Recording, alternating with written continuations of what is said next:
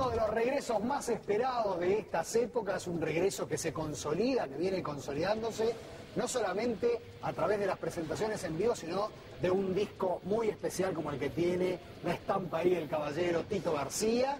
Eddie Walker está también con nosotros, letal en pocas palabras. Che, ¿cómo están viviendo este momento tan particular de la banda que creo que merece una, un subrayado especial, ¿no? Sí, mira, para nosotros es un momento fundamental porque eh, grabamos el DVD y va a ser el primer disco oficial de la banda en vivo, ¿me entendés? 24 años nos costó. Costó un poquito, tardó un poco, no, pero... No, dio un trabajo, pero bueno... para una banda famosa por presentaciones en vivo, que tenga un disco en vivo luego de veintipico de años, es todo un logro, claro. La verdad que nos costó mucho, pero bueno, ya lo tenemos en marcha, ya tenemos todo el DVD para, para editarlo, porque la verdad que va a dar trabajo de edición, gracias a Dios, porque hubo mucho trabajo, mucha hay mucho material. ¿Vieron las tomas? Sí, sí, vimos algunas tomas, algunas tomas vimos. Algunas Muchas cámaras, ocho cámaras, un, un Jimmy, un brazo, una grúa mecánica como para, para, tomar parte del escenario, para tomar parte del público, eh, unas camaritas eh, en los diapasones de, del clavijero de, de la, no, no del bajo de Eddie.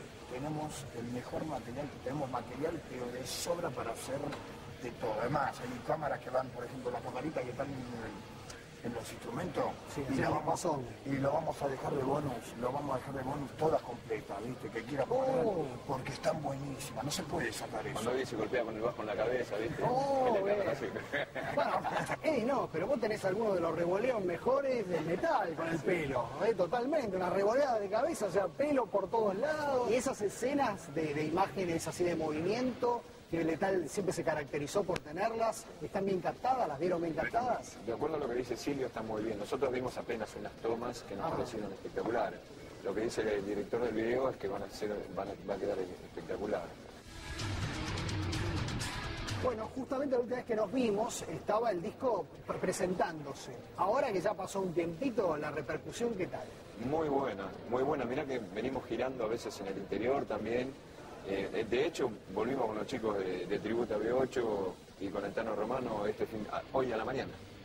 Hicimos San Nicolás, Rosario, Córdoba y Santa Fe en este fin de semana, así que a que 23 personas arriba de, un micro compartiendo todo, ¿no? Como siempre, las vivencias y la verdad que Aparte, placer, ¿no? músicos. Sí, una vez que lo recordás es lo mejor.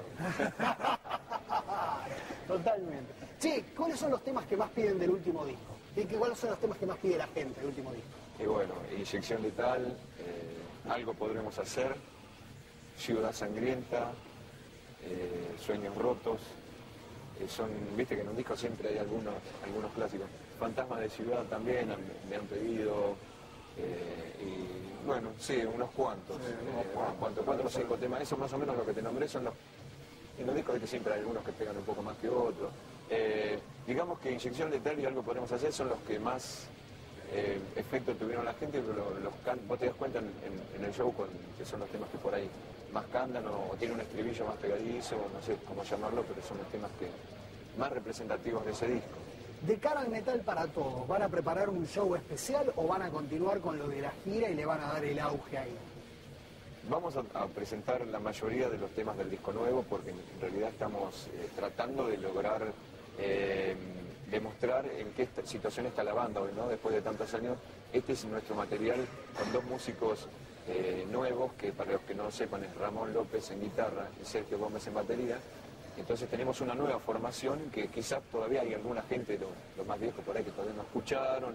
entonces estamos dando prioridad a esto, pero obviamente vamos a tocar los clásicos de siempre, de, toda la vida, porque...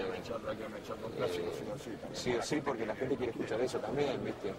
Eh, en realidad siempre hacemos eso, o sea, tocamos los temas discos y aparte tocamos los clásicos de siempre, que el público de metal es muy emotivo, y nosotros también, ¿viste?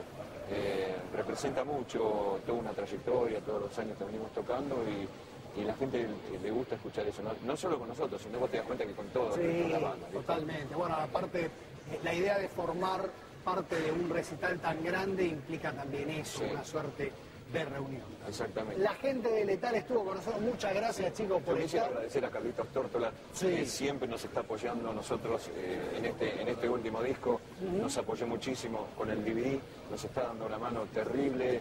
eh, Y además la producción con- metal la para todos, metal todo para lo Que hay gente todavía como Carlos que apuesta a, a lo que es el metal nacional. Todos sabemos lo que cuesta. Es una fiesta de metal nacional. Exacto, y todos sabemos lo que cuesta. Hay mucha gente que trabaja alrededor de todo esto, no tanto como vos, que también hace años que venís luchando, No, luchando para el metal.